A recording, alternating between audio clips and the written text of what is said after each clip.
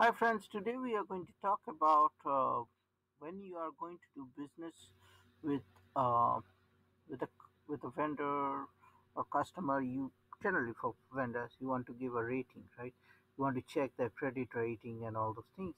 So here, as SAP S4 HANA has something already built, set rating rating procedures uh, and ratings. So if you go through this path through SAP banking and other stuff, you can see this, just follow this path in SPRO and here you can click and you get different ratings. So if I click on this, this is the external thing and here you can say it's very good. This this is very good restriction, very bad and all those things. These are different ratings.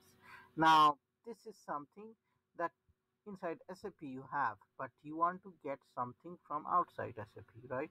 Because the credit bureau and all those things is outside. So here in S S4 HANA by default, okay, you can put Dun and Bradstreet uh, credit rating.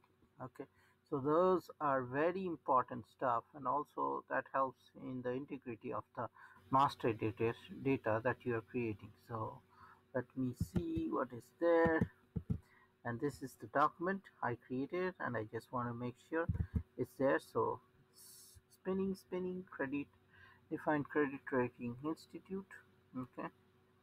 So so generally what what it will show is it will be either SCHUFA or Dun and Bradstreet okay? So these are the two and if you want you can put other you know Experian or whatever you have for your credit rating okay? Uh, for us but generally you know the, through the world you use dun and bradstreet and all those things. So it's very very very important that you set it this up and in the meantime this is running.